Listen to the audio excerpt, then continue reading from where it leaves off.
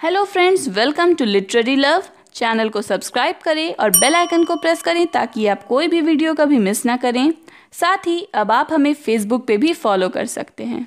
Friends आज की video में हम बात करेंगे एमिली डिकिंसन की एक बहुत ही फ़ेमस पोएम के बारे में, जिसका नाम है before I got my eyes put out ये पोएम छोटी है और इसकी लैंग्वेज भले ही बहुत सिंपल है, लेकिन इस पोएम में एक बहुत ही गहरी मीनिंग है। इस पोएम में एमिली डिकिंसन ने अपनी पर्सनल एक्सपीरियंसेस को शेयर किया है। वो जानती हैं कि ये दुनिया बहुत ही लिमिटेड है और साथ ही वो इस बात के लिए भी रेडी हैं कि इस दुनिया के आगे एक दूसरी दुनिया है। और वो जानती हैं कि जो उनकी नॉर्मल आइज़ हैं, वो उस दूसरी दुनिया को नहीं देख पाएँगी। तो वो खुद को इमेजिन करती हैं बिना अपनी आँखों के, अपनी आई साइट के। मगर फिर भी उन्हें कोई प्रॉब्लम नहीं है, क्योंकि अब उनकी जो सोल है, जो उनकी आत्मा है, वो इस दुनिया से बाहर देख सकती है।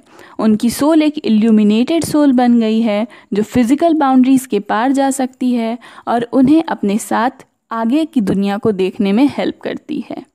फ्रेंड्स एमिली डिकिंसन एक अमेरिकन पोइट थी, जिनका जन्म हुआ था 10 दिसंबर 1830 में और उनकी डेथ हुई थी 15 मई 1886 में। उन्होंने अपनी पूरी लाइफ टाइम में 1775 पोएम्स लिखी हैं और उनकी सभी पोएम्स बहुत ही स्पेशल मानी जाती हैं। इनमें एक ख़ास बात ये भी है कि उन्होंने अपनी पोएम्स का कभी कोई टाइटल नहीं रखा और इसीलिए जो पोएम की फ़र्स्ट लाइन है, उसे ही उस पोएम का टाइटल माना जाता है। उनकी पोएम्स में ज़्यादातर डेथ और इमोर्टैलिटी के थीम्स हुआ करते हैं। उनकी फ़ेमस पोएम्स में because I could not stop for death I measure every grief I meet और सक्सेस इज़ काउंटेड स्वीटेस्ट ये सभी पोएम शामिल हैं। तो चलिए फ्रेंड्स अब पोएम पर आते हैं और इसे लाइन बाय लाइन रीड कर समझने की कोशिश करते हैं। Before I got my eye put out यानी जब मेरी आँखों ने देखना बंद कर दिया था मैंने अपनी आई साइट खो दी थी उससे पहले। I liked as well to see मुझे भी उसी तरह देखना पसंद था as other creatures that have eyes उन्हीं बाकी लिविंग थिंग्स की तरह जिनके पास आँखें हैं। And know no other way और मैं कोई दूसरा तरीका नहीं जानती थी। यानी जब मेरे पास आईसाइट थी तो जिस तरह बाकी जीव अपनी सराउंडिंग्स को देखा करते थे, मैं भी बिल्कुल वैसी ही थी। But were it told to me today मगर आज अगर मुझे ये बात कही जाए that I might have the sky for mine कि मैं फिर से आसमान को देख सकती हूँ ये आसमान दोबारा मेरा हो सकता है I tell you that my heart would split for size of me तो मैं तुम्हें बता देती हूँ कि मेरा दिल ये सुनकर टूट जाएगा, क्योंकि ये मेरे लिए बहुत ज़्यादा है। मैंने अपनी लाइफ को एक्सेप्ट कर लिया है, मैं दोबारा से सभी चीज़ों को नहीं देखना चाहती हूँ।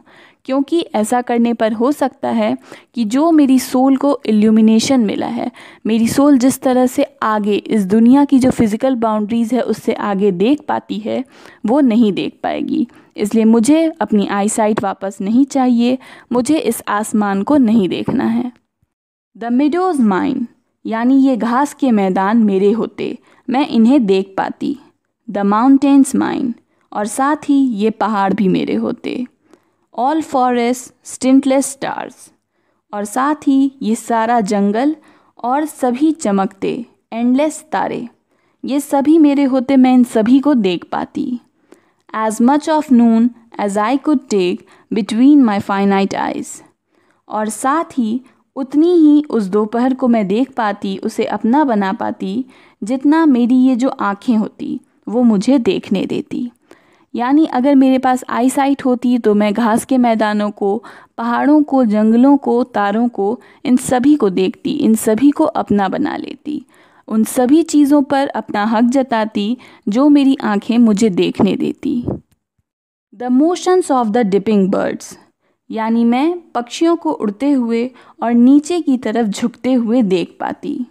द मॉर्निंग्स एम्बर रोड और साथ ही सुबह के समय सूरज की जो सुनहरी किरणें होती हैं, जो किसी लंबे रास्ते की तरह दिखती हैं, उन्हें भी मैं देख पाती। For mind to look at when I liked और ये सभी चीज़ें मेरी होती। मैं जब चाहती, जितना चाहती, इन सभी को देख पाती। The news would strike me dead मगर ये बातें सुनकर मुझे ऐसा लगता है, मानो मैं मर गई होती, यानी मेरी डेथ हो जाती। क्योंकि मैं ऐसा नहीं चाहती हूँ, मैं नहीं चाहती हूँ कि मैं इन सभी चीज़ों को देखूँ। भले ही ये सभी बहुत खूबसूरत हैं, मगर ऐसा सोच के ही मुझे लगता है कि मैं मर जाऊँगी। So safer guess with just my soul यानी मैं इसी तरह सुरक्षित हूँ, बिना मेरी आईसाइट के मेरे लिए बस मेरी ये सोल ही काफ़ी है। ओपन द विंडो पेन और इसी से मैं अपने मन की खिड़कियों को खोल सकती हूँ, जो देखना चाहती हूँ, देख सकती हूँ। Where other creatures put their eyes जहाँ बाकी सभी क्रिएचर्स अपनी आँखों का इस्तेमाल करते हैं। इनकॉशियस ऑफ़ द सन बिना सूरज के बारे में सोचे। यानी बाकी सभी जानवर, बाकी सभी क्रिएचर्स ये नहीं सोचते कि सूरज से उनकी आँखों पर क्या फ़र्क पड़ेगा। मगर मैं जानती हूँ कि ये सूरज मेरी आत्मा के लिए कितना ज़रूरी है और यही आत्मा मेरे मन की खिड़कियों को खोलती है। मुझे अपनी आईसाइट की ज़रूरत नहीं है देखने के लिए, क्योंकि मेरी आत्मा मुझे ऑलरेडी सब कुछ देखने में हेल्प करती है। वो मुझे इस दुनिया की जो फ़िज़िकल बाउंड्रीज़ है, उसके पार दिखाती है, जो नॉर्मल ह्यूमन आइज़ मुझे कभी नहीं दिखा पाती। तो फ्रेंड्स, यहाँ पर ये पोएम ख़त्म होती है। पोएम भले ही बहुत सिंपल है, लेकिन इस पोएम में पोइट ने अपने व्यूज़ को प्रेजेंट किया है कि किस तरह उनके हिसाब से ये फ़िज़िकल वर्ल्ड कुछ भी नहीं है और वो इस संसार के पार देखना चाहती हैं।